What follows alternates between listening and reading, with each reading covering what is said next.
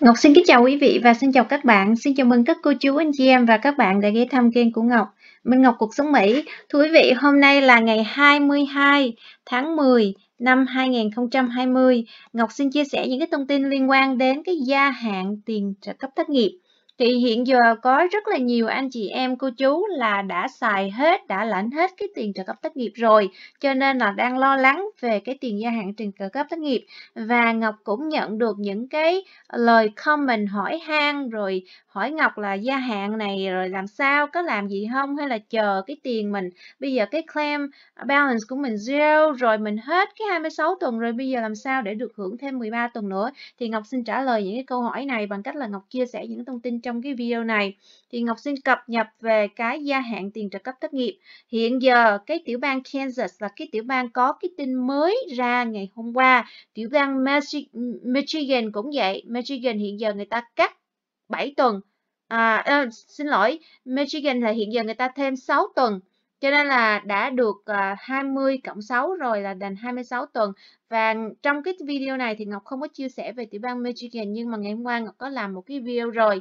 Thì nếu như cô chú anh chị ờ, quan tâm thì có thể ghé thăm cái kênh Ngọc Family ở Mỹ học tiếng Mỹ để chúng ta có thể tìm hiểu thêm về tiểu bang đó. Còn riêng trong cái video này Ngọc chỉ chia sẻ cho tiểu bang California, Virginia và Kansas. Thì Ngọc cũng mong mọi người sẽ đăng ký kênh và like, share, ủng hộ Ngọc nha. Thì Kansas hiện giờ có một cái tin vui mà cũng đây là cái tin để mà dẫn đến cái tin buồn quý vị.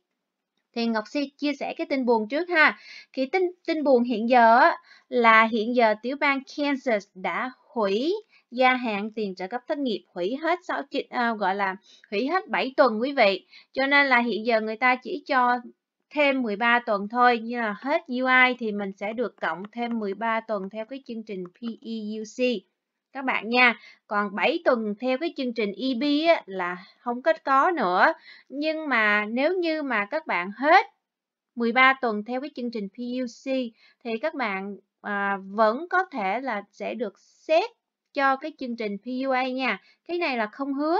Người ta sẽ xét cho mình nếu mình đủ điều kiện thì mình được mà không đủ điều kiện thì thôi. Nhưng mà quý vị nhớ là cái chương trình trợ cấp thất nghiệp mà theo cái chương trình PUC này theo luật của đạo luật Kiyosaki, người ta chỉ cho mình đến cuối năm hai à, cuối năm nay thôi, cuối cuối tháng 12 năm 2020 thôi.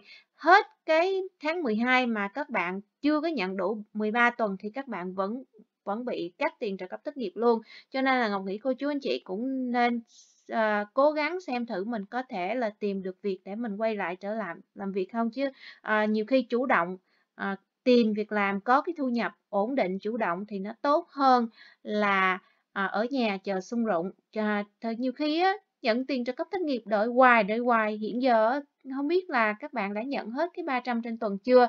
Thì nhiều khi mình sợ là bị nhiễm bệnh thì mình không đi làm. Nhưng mà nếu như mà tình hình cái vaccine nó ra sớm thì có thể là nó tốt hơn thì không chừng thì tùy mỗi người mỗi cảnh mỗi gia mỗi cảnh thì mọi người à, quyết định theo ha.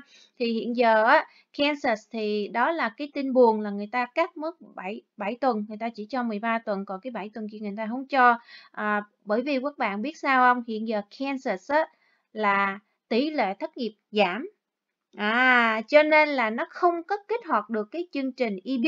Thì các bạn biết là hôm bữa trước là lâu lắm rồi, ờ, chắc là hơn một tháng rồi Ngọc chia sẻ là DOL là Bộ Lao động Hoa Kỳ, người ta nói là khi mà tỷ lệ thất nghiệp của tiểu bang giảm xuống ở một cái mức nhất định thì tự động cái chương trình EB này theo luật của liên bang người ta sẽ kích hoạt cái chương trình EB này cho cái tiểu bang đó và tiểu bang đó sẽ được cộng thêm 7 tuần.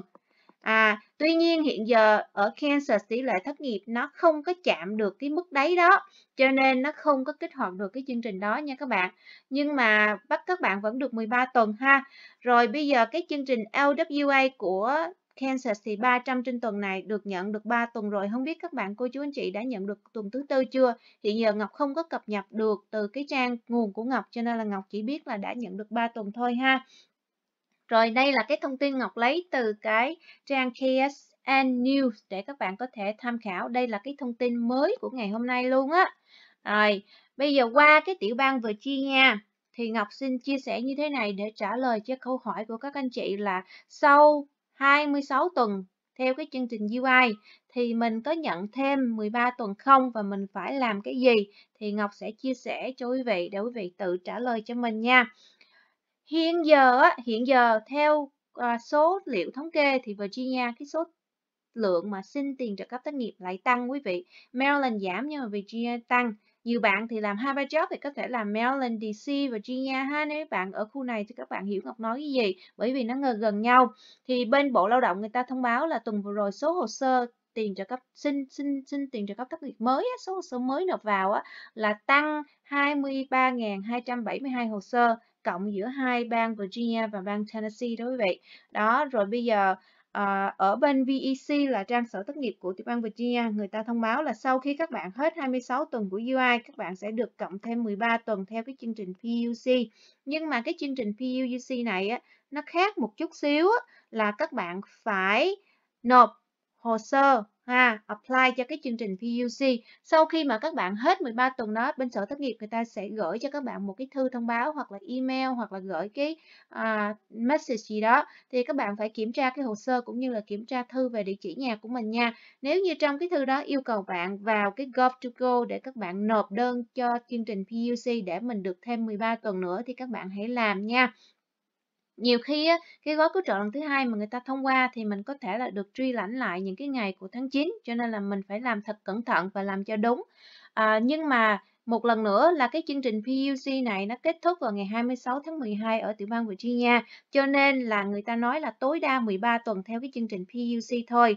Nhưng mà nếu như mà tới cái hạn ngày 22 mà ngày 26 tháng 12 mà nó chưa đủ 13 tuần thì các bạn vẫn bị cắt nha đó, tối đa là 13 tuần thôi mà bây giờ tới ngày cuối tháng 12 mà các bạn cũng chỉ nhận được 7 tuần thì nó hết, nó không có cho mình tới 13 tuần đâu.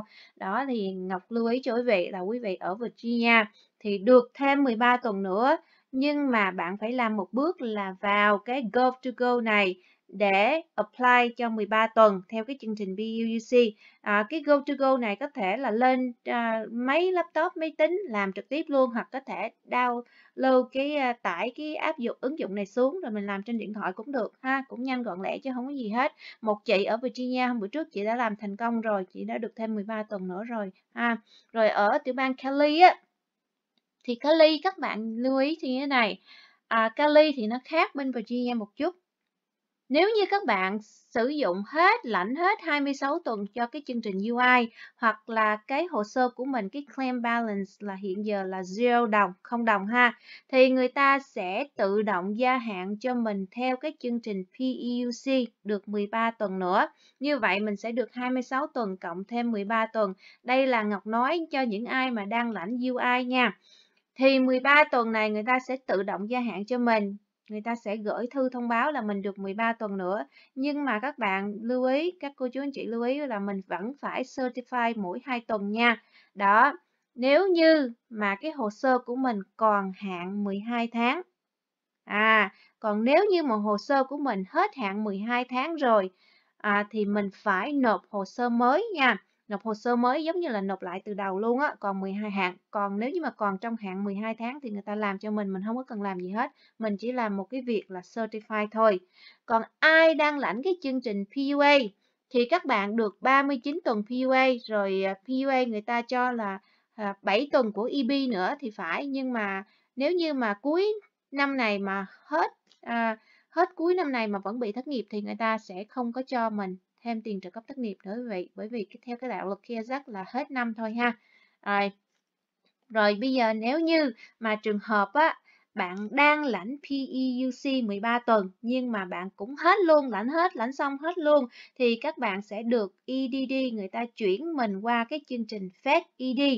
Thì FED ED này á mình được 20 tuần nhưng mà 20 tuần này không phải là ai cũng được hết có một số người là không đủ điều kiện có một số người là đủ điều kiện cho nên những người mà không đủ điều kiện á người ta sẽ chuyển mình qua cái chương trình PUA À, bởi vì PUA là những cái người mà không đủ điều kiện để lãnh tiền trợ cấp thất nghiệp theo UI hoặc là những cái chương trình mà liên quan đến UI ha. Như vậy cái nhánh bên này là các bạn sẽ được UI 26 cộng PUUC 13 cộng với Fed ED 20 mà nếu như không được Fed ED á, thì các bạn sẽ được PUA còn các bạn nằm ở bên nhánh PUA thì các bạn được 39 tuần. Còn nếu như mà hết 39 tuần đó thì các bạn sẽ được cộng thêm theo cái chương trình EB thì phải. À, thì tới đó thì mình tính tiếp ha. Nhiều khi nó có những cái thông tin bởi vì EB á, là nó tùy thuộc vào cái tỷ lệ thất nghiệp của tiểu bang nữa. Cho nên là tới đó thì mình tính tiếp ha rồi à, nếu như mà trường hợp các bạn mà hồ sơ các bạn mà quá hạn 12 tháng hết rồi thì các bạn phải nộp đơn lại nha. Và lưu ý dùm Ngọc là phải certify mỗi 2 tuần. Và Ngọc cảm ơn mọi người đã theo dõi cái video này và hẹn gặp lại quý vị trong những cái video tiếp theo. Hãy like, share và đăng ký kênh ủng hộ Ngọc giúp nha mọi người. Bye bye.